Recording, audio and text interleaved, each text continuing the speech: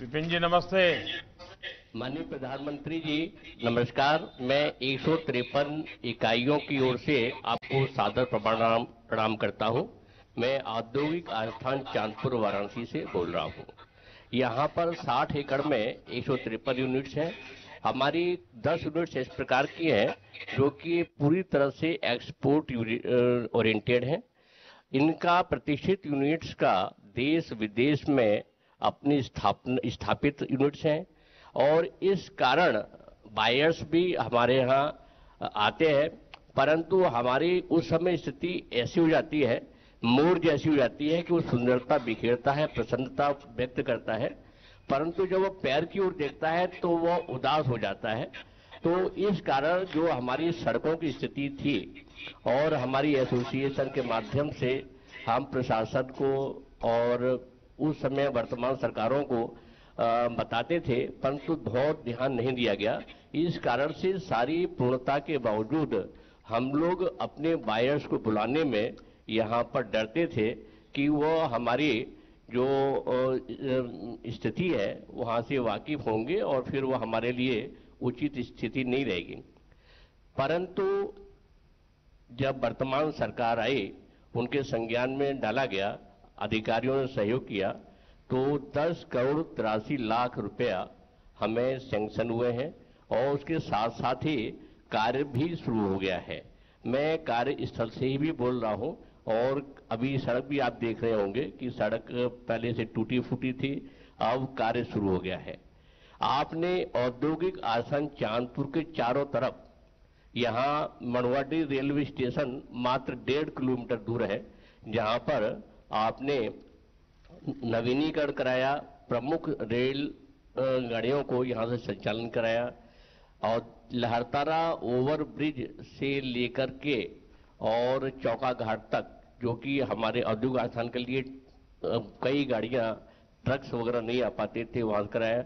मरवाडी जो railway station over bridge पर जो कार्यक्रम हुआ है तो सुविधा और उद्यमियों को हो गई है। इस कारण हम उद्यमी आपको बहुत बहुत धन्यवाद देते हैं।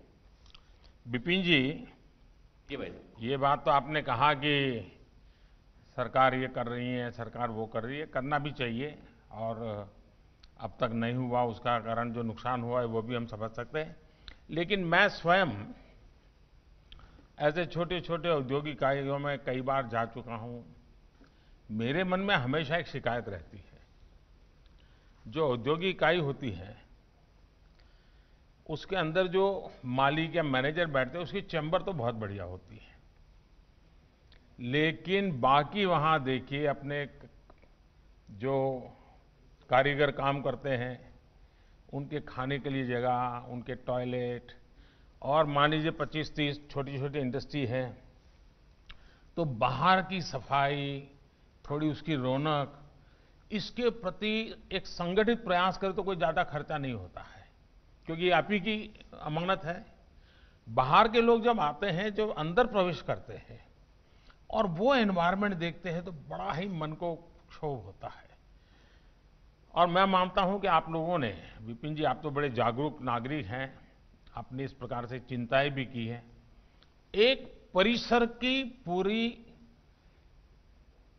यानी एक प्रकार का ऐसा एनवायरनमेंट यानी आपके कारीगर को भी घर जाने का मन न करे, उसको लगे कि नहीं नहीं भाई, छह बज गए हैं जाना है, लेकिन ऐसा करो, आधा पौना घंटा बैठते हैं, जरा यहाँ महा अच्छा माहौल है। ये स्थिति हमारी बनती नहीं है। ये मुझे लगता है कि ऐसे छोटे छोटे एसोसिएशन ने कुछ न कुछ सोचना चाहिए। देखिए, दिवाली और त्योहारों को लेकर जरा अब तो व्यापार उद्योग में भी लोगों का ध्यान गया होगा। कोरोना का भय भी काफ़ी मात्रा में कम हुआ है। सजगता तो बनाए रखनी पड़ेगी। लेकिन क्या लॉकडाउन के बाद में कुछ सुधार की दिशा में क्या लग रहा है काशी में? पहले तो मैं स्वच्छता के विषय में बताता हूँ कि औद्योगिक आस्थान सहकारी समिति लिमिटेड, जो कि उद्योग विभाग एवं उद्यमियों के सहयोग से बनी है और लगातार स्वच्छता पर ध्यान देती है। वृक्षारोपण हमारे यहाँ, मैं समझता हूँ, नोएडा के बाद दूसरी स्थिति होगी, जो कि जिस प्रकार का हमारे यहाँ वृक्षारोपण हुआ है, कि यहाँ पर शांतिपूर्ण वातावरण रहता है। ये कमी जो थी, वो आपके द्वारा पूरी हो रही है। कोरोना काल में भी हमें लॉक इन के पश्चात भी कई प्रकार के समय की प्रतिबद्धता थी, परंतु हमारी यूनिट्स चलने में स्थानीय प्रशासन ने बहुत सहयोग किया, हमें ऑनलाइन पास इशू किए, इस कारण से हमारे उद्योग चलते रहे। एक कठिनाई आ रही थी कि हमारा टर्नओवर कैश फ्लो या लेन देन एक तरह से बिल्कुल समाप्त हो गया था। किसी के पास पैसा देने के लिए नहीं रह गया था, इस कारण से हमारे उद्योग प्रभावित हो रहे थे। हम कच्चा माल परचेज नहीं करने की स्थिति में थे, परंतु जब आपकी स्कीम सीसी लिमिट्स को बढ़ाने की आई तो उसने संजीवनी का कार्य किया और एक तरह से जो जाम पहिया था, वो पहिया एक बार चालू हो गया तो उसके बाद से अब स्थिति इस प्रकार के है कि हम सामान्य स्थिति में आ गए हैं और कार्यक्रम उसी प्रकार से अब चालू चल रहे हैं। अब कोरोना का कोई डर, भय कुछ नहीं है। परंतु हम लोग मास्क और सैनिटाइजेशन जो भी आप हमें निर्देश दिए हैं, उसका पूरा पूरा पालन करते हैं। क्योंकि हम आपको वाराणसी का अभिभावक मानते हैं।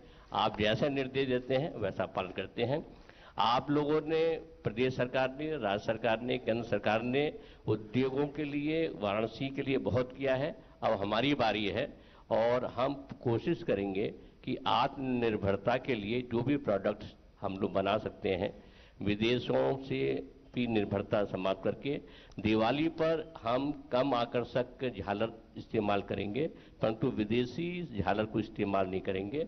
ऐसा काशी में तीन चार वर्षों से विभिन्न संगठनों के द्वारा प्रयास चल रहा है। इस बार और पुरजोर से ये कार्यक्रम चलेगा। निश्चित रूप से हम आत्मनिर्भरता की ओर आगे बढ़ेंगे। चलिए विपिन जी, आपकी बातें सुनकर के बहुत अच्छा लगा और मैं तो क्या अभिभावक हो सकता हूँ? काशी का हर बेटा, बेटी, काशी के सच्चे अभिभावक है। आज काशी जो भी है काशी वासियों के कारण है। मेरा तो सौभाग्य है कि ऐसी एक पवित्र नगरी में आप लोगों के बीच कुछ न कुछ काम करने का अवसर मिला, कुछ सीखने का अवसर मिला। तो मैं तो काशी का एक प्रकार से जितना धन्यवाद करूँ उतना कम है।